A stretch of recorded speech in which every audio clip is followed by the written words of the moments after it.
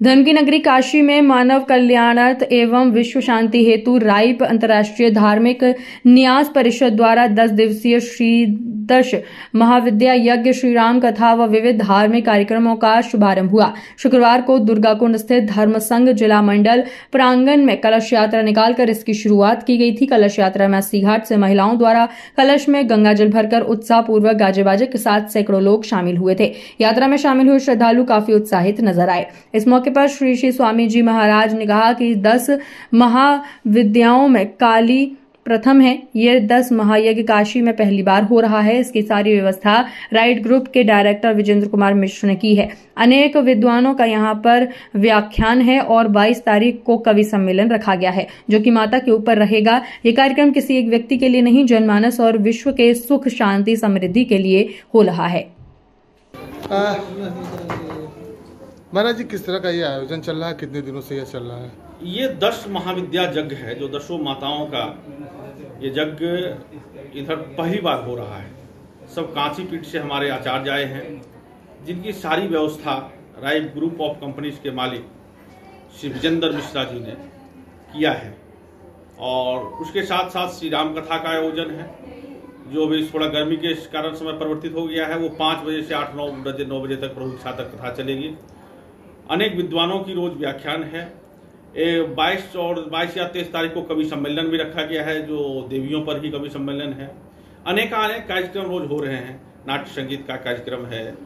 लोग हर एक जनमानस के लिए और ये किसी एक के लिए नहीं है। विश्व के कल्याण कैसे हो?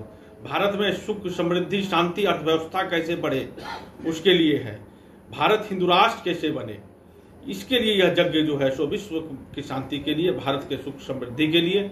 भारत हिंदू राष्ट्र बनाने के लिए श्री विजेंद्र मिश्रा जी के माध्यम से यह यज्ञ एक नॉर्थ और साउथ का मिलन, दक्षिण और उत्तर का मिलन भी समझिए, ये यज्ञ के माध्यम से हो रहा है। और श्री राम कथा के माध्यम से श्री राम मंदिर इतनी दिव्य बन रही है।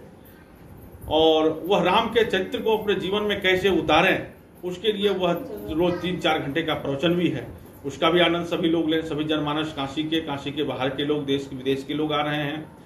कई देश से लोग यहाँ पधार रहे हैं। आ, क्या कुछ विशेष होने वाला है इस यज्ञ के माध्यम से? यह पूरा यज्ञ ही विशेष है। हर एक दिन अलग अलग माता के अलग अलग हवन उनकी आहुति उनकी अलग पूजा उनके लिए अलग श्रृंगार उनके लिए अलग सारी व्यवस्था और यह व्यवस्था सारी रोज जो है सो साउथ से आ रही है क्योंकि यहाँ इतनी व्यवस्था हो नहीं पाएगी क्योंकि हर एक दिन अलग अलग कलर का अलग अलग वस्तु उन्हें प्रदान की जाती है आहुति के माध्यम से। तो उतनी व्यवस्था हो जाए, नहीं पता कि काशी तो काशी है भाई, लेकिन सारी व्यवस्था वहीं से की गई चूँकि वहाँ सुलभता से उपलब्ध हो जाता है। तो सारी रोज जो है सो, विमान के माध्यम से रोज सामान सही समय पर यहाँ पहुँच जाता है। और सारे पंडित, यहाँ आचार्य, विद्वान सब दिन भर वेद पाठ हो रहा है, हवन हो रहा है, ऐसी ऐसी आहुतियाँ डाली जा रही है जिसको लोग दर्शन भी नहीं कर पाए, ऐसी ऐसी चीज़ों की आहुति डाली जा रही है। तो सब लोग आके जगह का भी दर्शन करें, श्री राम कथा का आनंद लें और अनेक अनेक बड़े विद्वान, संत, महात्मा जगत गुरु महामंडेश्वर सभी लोग आ रहे हैं यहाँ। सबके दर्शन करके आनंद लें उसका।